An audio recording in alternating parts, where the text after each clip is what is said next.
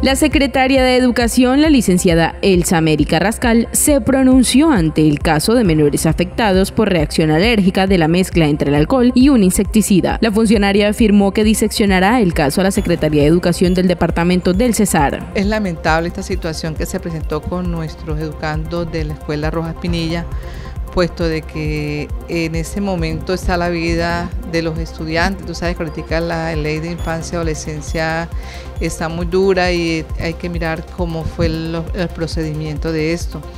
Yo me acerqué allá el miércoles, estoy hablando con el señor rector y él me decía que por equivocación ese suceso la profesora se confundió y pensó que era alcohol y comenzó pues a echarle a los niños en las manitas este, este producto.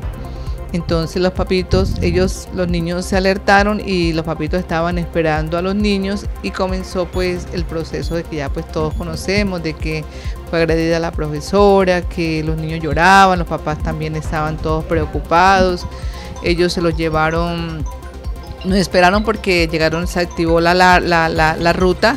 Eh, para poderlo llevar a un estamento médico y poder pues saber qué les pasó pero los papitos se llevaron directamente a los niños hasta sus casas y después ellos lo ingresaron a una institución de, carácter eh, de salud. La licenciada invitó a los padres de familia y comunidad educativa a tener cordura y respeto ante las decisiones que se tomen de ahora en adelante. Hago un llamado eh, muy vehemente a los papitos, esperar que, esto se, pues, se solucione de la mejor manera, que no haya agresiones, que haya pues cordialidad tanto en la parte administrativa eh, para que esto pues eh, se susane. De igual manera, mm, a una madre más familia que se acercó acá a la oficina, yo le comentaba de que no ha llegado ningún requerimiento por parte de ellos a esta oficina para yo de pronto pues por competencia remitir a la Secretaría de Educación del departamento pero sí estamos pendientes de lo que vaya a suceder sobre este tema tan delicado. Mientras tanto, lo que se ha conocido es que algunos menores ya se encuentran en sus hogares a la espera de noticias sobre el retorno a clases.